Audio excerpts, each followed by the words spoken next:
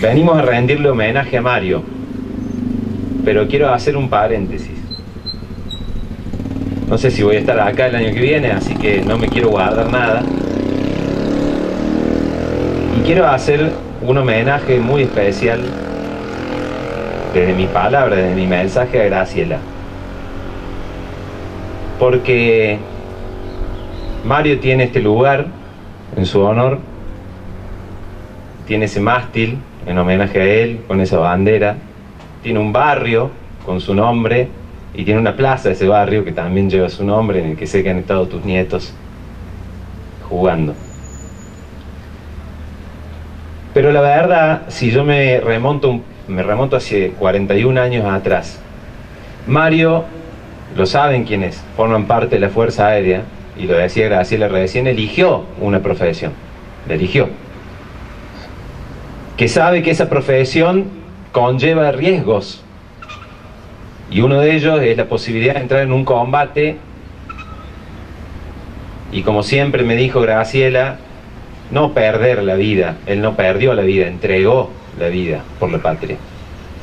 Pero ellos saben que forma parte de las posibilidades de su trabajo. Son profesionales son un lujo para una Argentina, un lujo de profesionales, como lo contaba Graciela recién.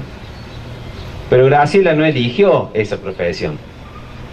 Y hace 41 años se tuvo que quedar en su tierra, cuidando a sus hijos, soportando estoicamente el dolor que cualquier esposa puede soportar ante esa circunstancia, simulando que no es tan grave lo que está pasando para poder transmitir a su familia y a su entorno armonía, con la paciencia de todos los días de escuchar un llamado que le devuelva la tranquilidad.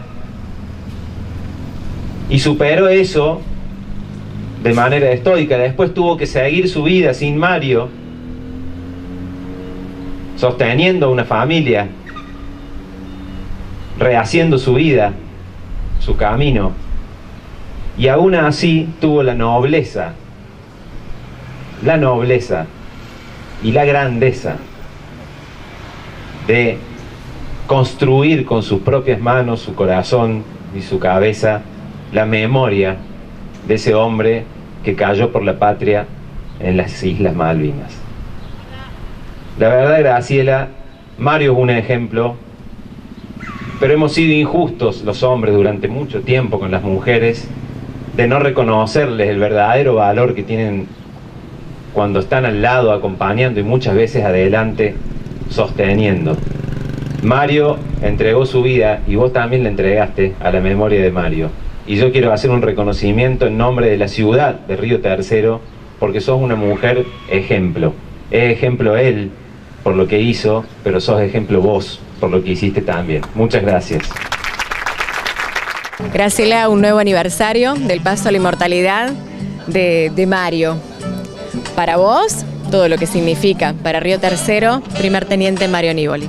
Sí, nuevamente acá homenajeando su entrega, su valor y su compromiso por la patria. Mm, eh, yo siempre digo que es lo único que diría, que lo que hizo fue cumplir con el deber. Eh, y es así. Y su familia aceptando lo que nos tocó y agradeciendo por haberlo tenido en nuestra familia, un ser humano excepcional. Graciela, en lo familiar sabemos el legado que ha dejado como esposo y como padre de dos pequeños en aquel momento. Y en la ciudad de Río Tercero también contar con estos espacios que también tienen que ver con esta memoria agradecida que vamos haciendo, ¿no? Una plaza una plazoleta que lleva su nombre, una plaza ahora donde los niños jueguen. Eh, calles. Sí, yo creo que ayer le decía a la gente del Consejo Deliberante que me entregaron la copia del decreto de la plaza eh, que lleva el nombre de Mario, en el barrio que lleva el nombre de Mario, que realmente lo único que puedo decir es gracias, gracias, gracias. Verlo a mi nieto más pequeño jugar en esa plaza y ya pronto entenderá que es la plaza que lleva el nombre de su abuelo. Eh, siento realmente que soy parte de esta ciudad, hace 40 años que me vine a vivir a Río Tercero Y yo no tengo más que decirle gracias al pueblo de Río Tercero, a los diferentes intendentes, este, siempre han valorado esta entrega de Mario, han reconocido realmente un hijo de esta ciudad que se comprometió con la patria y que cumplió. Ayer precisamente, y por esas diosidencias, el día del himno nacional argentino, que expresa o juremos con gloria morir, una parte que a nosotros los mortales nos cuesta mucho decirla, y es lo que Mario ha hecho. Sí, yo cada vez que escucho el himno, esa parte me, toca así muy profundamente, porque creo que hasta en eso cumplió la letra del himno, o juremos con gloria morir. Y, también por la convicción con que Mario iba Malvinas, de saber que la gesta, eh, a ver, una guerra no la desea nadie, pero sí era la manera de recuperar lo que nos pertenece y que nos habían retirado del lugar este, en 1833 eh, ellos sabían cuál era realmente su deber y estaban preparados para eso, eh, reconocidos por el propio enemigo, porque no se esperaban la actuación de Fuerza Aérea en especial, digamos, la salida de pilotos, los ataques, cuántas fragatas dejaron fuera de combate.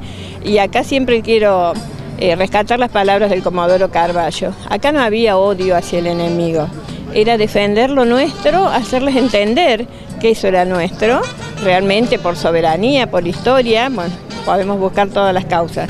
El inglés vino sin saber ni siquiera que eran las Islas Malvinas y hoy podés hablar con gente de Inglaterra, con los propios isleños y están por supuesto hoy aceptando que ellos quieren quedarse y que es su lugar, pero este, no tenían idea de cuánto amor hay en los argentinos por esas tierras irredentas.